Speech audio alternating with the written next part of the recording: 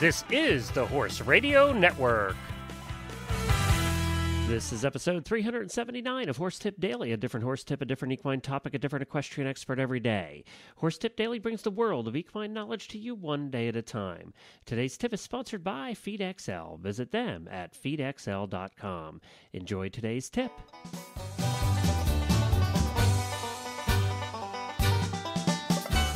Howdy, everybody. Glenn Geek here with you from Lexington, Kentucky, and you're listening to Horse Tip Daily. Well, today I will be doing the tip, and actually a two part series today and tomorrow. And I thought that uh, that little music might help set the stage for what we're going to talk about over the next two days. And here is Marion Kennedy. Gotta go feed.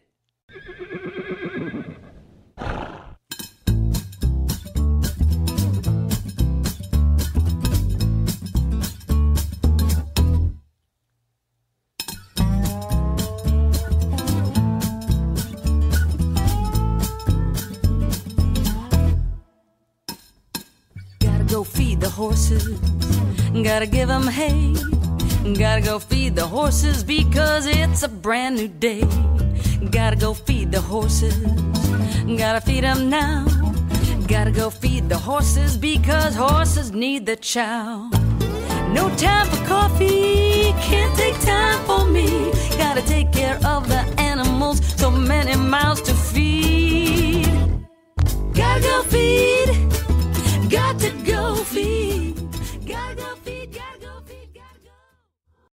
Well, what we're talking about over the next two days is her problem there in the song was she didn't have time for coffee because she had to go feed.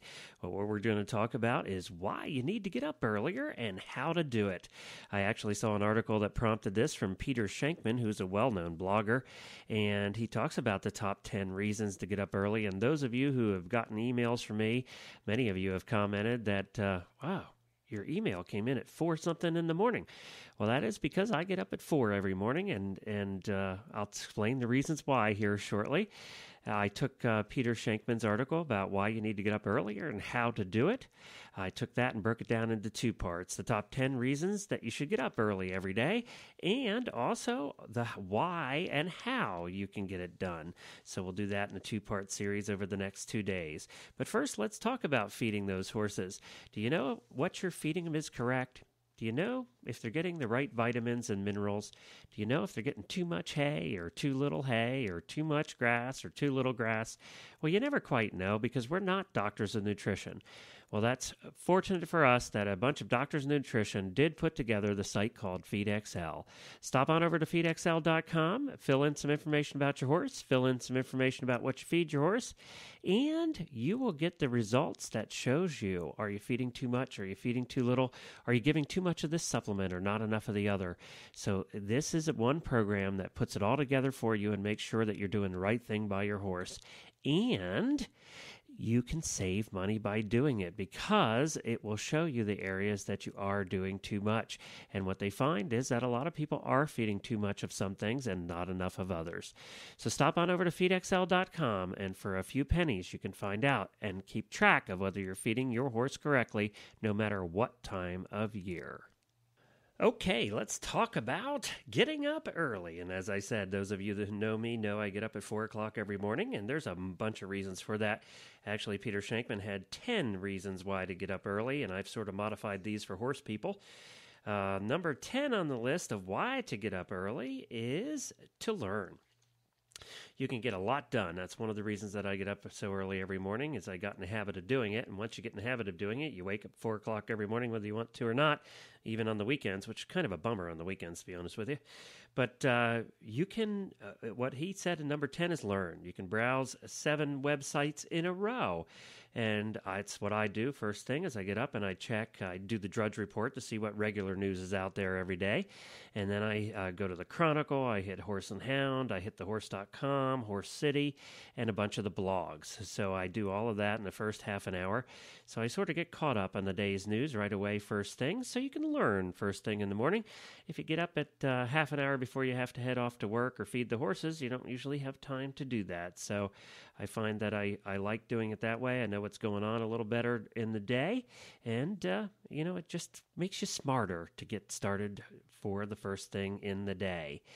The other uh, number nine he, he had is it's really all about you, and that's true. It's pure you, you time. It's one of the very few times during the day that you have you time, so you can take time making your coffee. In my case, I make my tea, and you you know you pet the cat, you feed the dog, whatever it is. You just have time for you. You can sit down, drink a cup of coffee.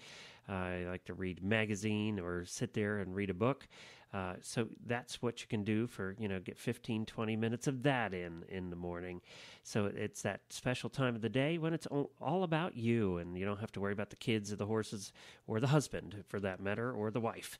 Uh, it's just that you time.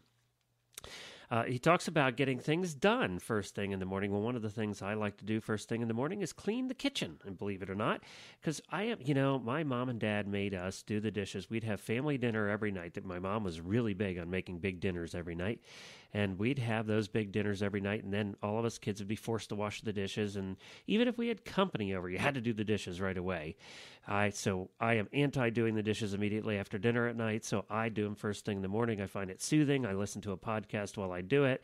And then the rest of the day the kitchen's clean. And i like that but i love doing that first thing in the morning before anybody gets up Certainly, if you have kids, you know how important that alone time is in the morning. Well, number seven, he said on the list, is you're automatically early, and what that means is you're not in a rush. You can you can uh, take your time. You can make sure that uh, you, you get the things done that you need to get done. You're calmer. You're more relaxed when you're heading off to work. You're not rushing out the door. You're not stressed. You can leave a few minutes earlier. Take your time, not have to speed, and just not feel that stress when you're going into work. And you know, a lot of the top corporate executives, and I know a lot of the top riders that I've spoken to in, in you know in the world do that as well. They all they all tend to get up early so that they make sure that they can get their minds in the right place before they get out and start riding their horses in the morning eat. Well, you have time for breakfast, which is something, you know, that uh, Marianne Kennedy said no time for the coffee. Well, you'd have time for the coffee. You can uh, make sure that you, you get a good breakfast in in the morning before you head out. It still is the most important meal of the day. I cannot survive without it. That is for certain. I mean, I know I'm on a strict diet, so I don't, I can't eat certain things, but uh, I make sure I have time to make my breakfast in the morning. Exercise, terrific time to exercise, uh, to get your morning workout in before the day even starts. Because you know darn well if you wait till after work or if you wait to the end of a long day of uh, working in the barn or riding, you're not going to get your exercise in. So it's a perfect time to do that. I go to the gym many mornings at uh, four o'clock, and I'll tell you what, it's empty. There's nobody there. It's a great time to go to the gym as well. You can do your barn chores. If you have barn chores you need to do in the morning, you can do them slower and make them more enjoyable. You don't have to rush around the barn, throwing the food at the horses, upsetting everybody in the barn the horses, the cats, and the dog. You can just take your time, relax, and actually enjoy it. Uh, so if you normally get up at six, you get up at four. That extra two hours is totally amazing. Even if you got up at five, that extra hour will give you the time to to enjoy the barn and to enjoy the horses in the morning and not be so rushed. And believe me, that will make a huge difference on the rest of your day answer emails. Those of you who email me know that I answer emails at 4 to 5 in the morning, somewhere in that range, sometimes up to 5:30. So you're going to get your emails answered, but they'll probably be the next day after you write, and it'll be early in the morning. I get more comments than that from people writing by saying, "What are you doing up at that hour?" Well, you know, it is a quiet time. You're not being interrupted by the phone. You're not being interrupted by anything. The kids are in bed. They don't want to get up that early. So your kids are in bed and you can really take the time to concentrate. I put on music, my eclectic brand of music. I uh, use Pandora and have a very wide mix of music in my player, and I just turn on the music and answer emails. Number two, do something you had never have time for. If there's something, maybe writing your blog post if you have a blog, uh, maybe you have a ton of emails. Maybe you like uh, you you have some software, or you're uh, you're reading a book that you never seem to have time to get to. Well, you know what? You have time. You'll have that extra time in the morning to do that. So do the things you never have time for first thing in the morning. You know, maybe it's uh, maybe it's you know clean a stall or two or whatever it is that you don't have time to get to because you're usually rushed. And also, getting up in the morning truly can change your life Believe it or not, 30 minutes, an hour, an hour and a half will make a huge difference. Just give it a try for a week. Uh, in the next tip, we're going to talk about how you can get up earlier in the morning.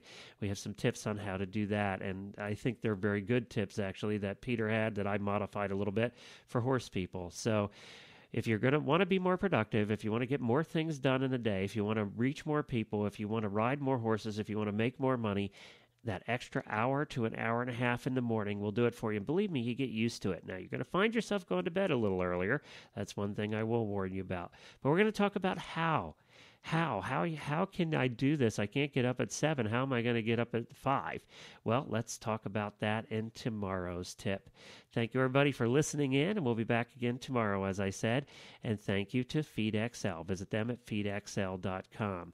Ride safely today and get up a little earlier and you won't be so rushed. The Horse Radio Network and the Horse Radio Network hosts are not responsible for statements of guests or their opinions. Use your own judgment when listening to the tips provided by the experts on Horse Tip Daily.